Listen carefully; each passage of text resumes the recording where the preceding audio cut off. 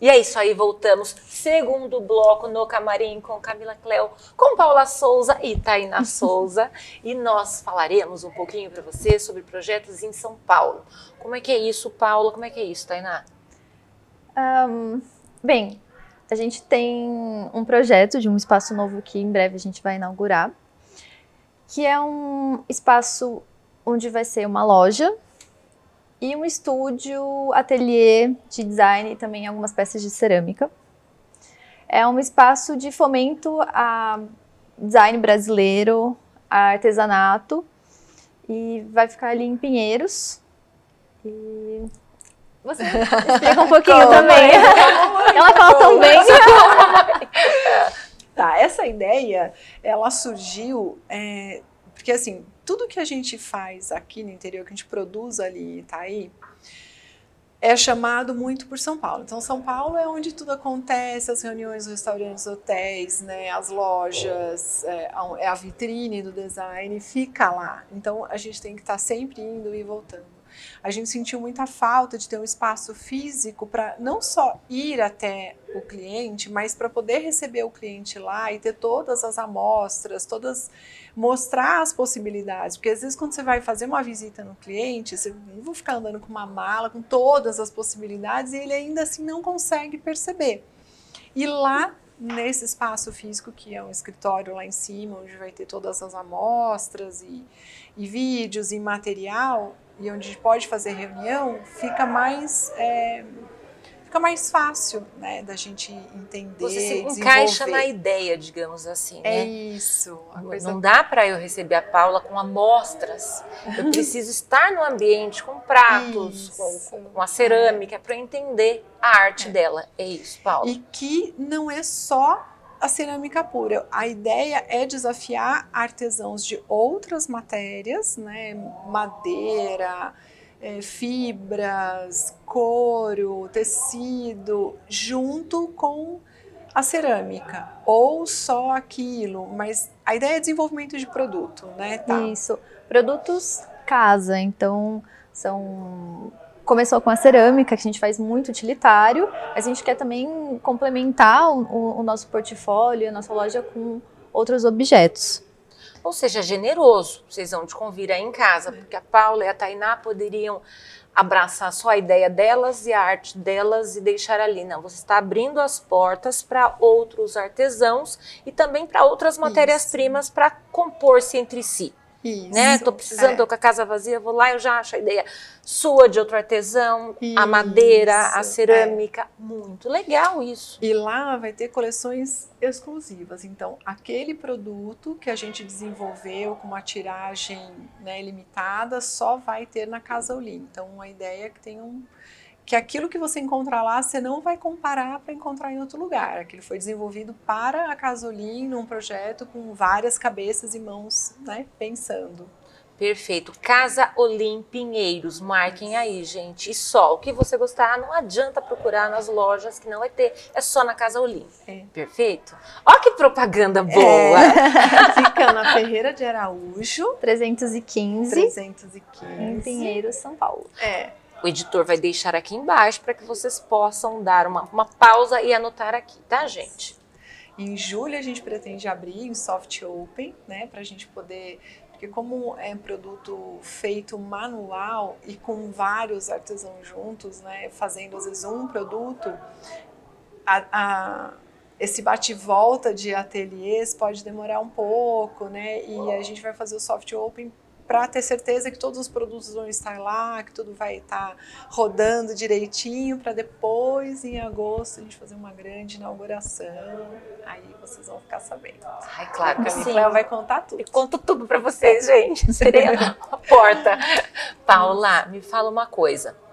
Você tinha dito que ali também vai ter um ateliê, não só showroom de artistas variados, com materiais variados. Ali você pode trabalhar também? Não, a ideia não é ser um ateliê, mas ser um estúdio. É um estúdio onde você desenvolve, onde você cria. Porque antes de você fazer, você tem que desenhar, você tem que é, pensar, você tem que ter, fazer um projeto. Então, imagina essa mesa aqui, aí tem a Tainá que faz a impressão 3D em cerâmica, eu que faço a cerâmica, outra pessoa que faz a madeira e outro que faz cestaria.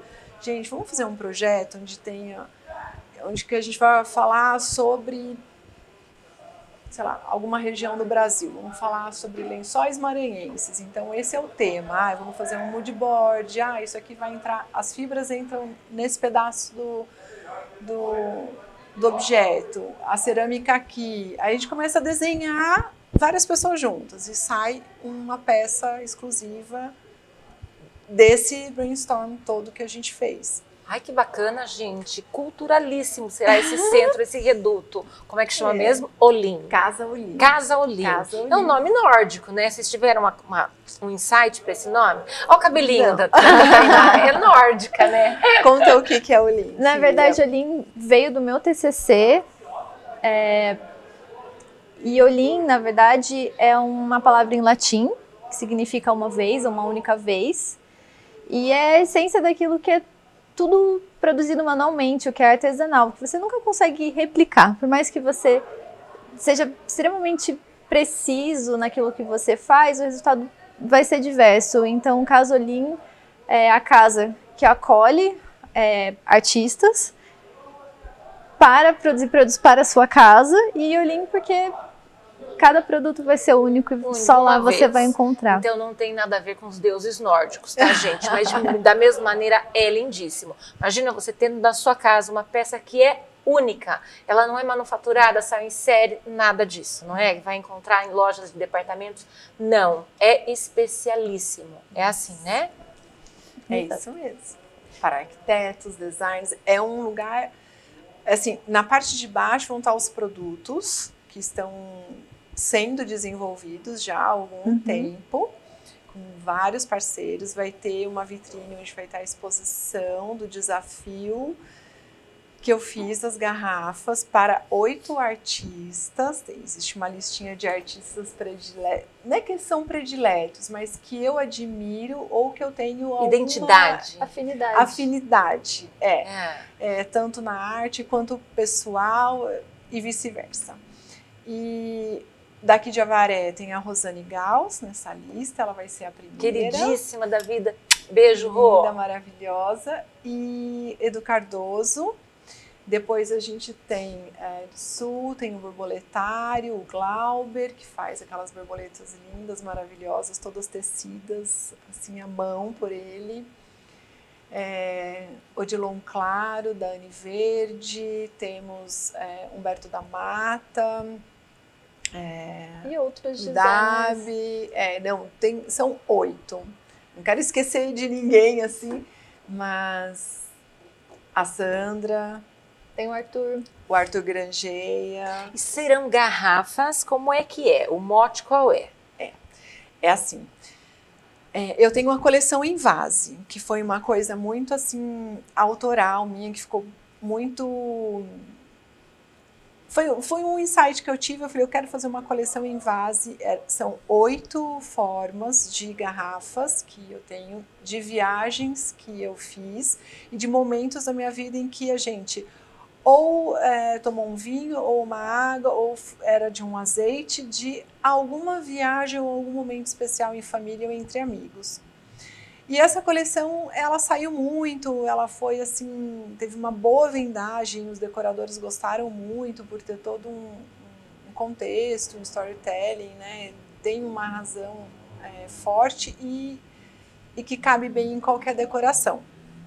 A Tainá fez as latinhas, todas com o mapa dos lugares, ficou super bonito.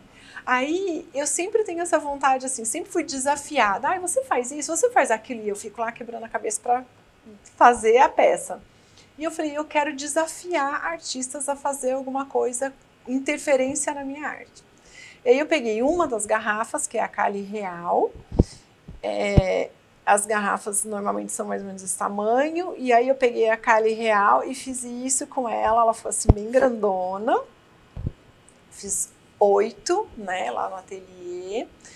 E essas oito foram. Então, essa garrafa foi o convite para os artistas. Ela vai estar tá imaculada, branca. Não. ela, ela é argila por fora e branca por dentro. Não tem nada. Tá, mas nessa fosse. argila por fora, eu vou lá e eu vou criar em cima. Exato. Tá. Eu primeiro fiz o convite, todos toparam, e aí eu falei: é, você pode fazer o que você quiser com a garrafa, a interferência que você quiser, do jeito que você quiser. Olha, Vai ficar demais esse projeto. Você não sabe, a gente já tem cinco e foi uma coisa assim muito, muito, muito especial. A primeira que vai expor na Casa Olim vai ser a Rosane Gauss. Pela história que eu tenho com ela, a primeira arte que eu fiz na minha vida foi no estúdio da Suade. A Rô tá pra vir aqui, tá, gente? É. Logo vocês vão conhecê-la. Ela é uma artista e tanto também como a Paula. E a, imagina, muito mais que ela. Só muito artista mais, não dá assim, pra gente ela não- mensurar, não... é, gente? A Ai, arte ela não se mensura. anos. É, não, mas é que ela tem anos, né, de carreira. A Rô é uma coisa. E aí ela era, ela era assessora da, da. Então eu comecei a aprender a fazer arte pequena dentro do estúdio da SUAD com a Rosane, né, como assistente e depois a gente depois dali sempre tem alguma coisa na nossa vida que vai e volta, estamos lá, vai e volta, estamos lá. sabe? Orbitando É, juntas. é.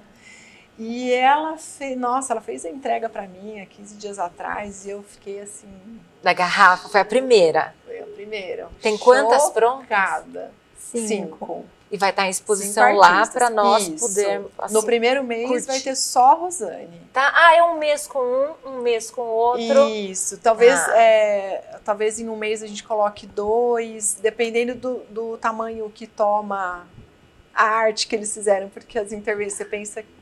Eu não vou dar spoiler. Não, então não. Depois a gente vê tudo mastigadinho vindo de lá, da É. casa Oli, tá, gente? É. Aí eu vou olhar, vou ficar apaixonada pela garrafa. É só vai ter ela, claro. Só, Olha, uma vez apenas, como a Tainá disse. Isso. E se eu quiser alguma coisa inspirada do artista, como é que eu faço? Ah, eu gostei da Camila, tá vendida. Mas eu gostei, é a cara da minha casa. Não faria uma semelhante que vai ser a cara da minha casa? Aí a gente pode desenvolver sim. Aí a gente vai conversar com o artista e ver se a gente pode fazer. A gente vai pensar em objetos menores, como lembrança daquela, mas a ideia é que ela seja realmente única e a gente não replique ela. É, porque E ela você vai estar à pensar, venda. Emílio Pucci. Você vai gostar daquela. Emílio Pucci é. É, não é. tem como a gente Uhum. não, não saber que é ele. Mas de repente você não pode ter uma peça que já foi vendida porque é única, não tem jeito. Uma bolsinha. Isso, Não é? Alguma coisinha assim, Alguma coisa pequena. vai nascer dessa... No caso da cerâmica, um cachepozinho Isso, com a ideia coisa com a ideia do artista. Gostei, olha, já lançou outra. Pronto, já me deu serviço de novo. já me deram trabalho. É assim, né, gente, que os fãs fazem, dão trabalho para os artistas. Não, eu já, já tô pipocando aqui, agora vou ter que arrumar uma maneira de. né? Agradar a gregos e a troianos. Exato, fazer uma coisa pequena que lembre Aquela, aquela, imagem, aquela constituição Exato. daquela arte, daquele artista. Porque gostei da ideia. A loja, ela tudo se conecta lá dentro. Então, se a gente vai trabalhar com a exposição dessa garrafa, a, toda a curadoria que vai estar naquele mês dentro da loja, ela vai conversar. Então, você vai ter alguma coisa que vai remeter àquela garrafa e que você vai poder levar para casa também. Ai, perfeito. Ninguém vai sair sofrido de lá, tá, gente? Meninas, considerações finais? Ai, bom, as considerações finais, assim, eu queria agradecer, né, a todo mundo que, que consome a nossa arte, que valoriza o Manacá, que nos motiva a estar sempre fazendo essas coisas novas, porque se você faz e as pessoas não não admiram, não consomem ou não Absorvem, Absorvem. é essa isso que você está querendo trazer e dizer, né? Não querem, não ouvem, não faz sentido. Então tudo isso só existe porque as pessoas estão conseguindo se conectar com a gente. Eu queria agradecer muito. Imagina, assim. gente, como se fosse difícil estar nesse lugar belíssimo, olhando as peças da Paula, que é para os olhos, para o paladar, para os nossos narizes. É perfeito estar aqui. Então, obviamente que você não precisa agradecer, nós é que somos felizes em ter o Manacá. Obrigada. E você, Tainá linda? Ai, eu acho que tudo que minha mãe falou, é, eu sinto da mesma forma. E agradecer a minha mãe, ela que me incentiva e me arrasta para todos esses projetos. E eu sempre topo tudo que ela me propõe. É parça. Ah, maravilha! Então, perfeito. Eu amei tê-las aqui no meu espaço, tá, gente? O espaço é delas e eu sou uma convidada felicíssima por estar aqui. Obrigada, meninas. Obrigada, Obrigada. Você. Obrigada. e assim finalizamos. Um forte abraço, fiquem todos com Deus e até o próximo programa. Tchau.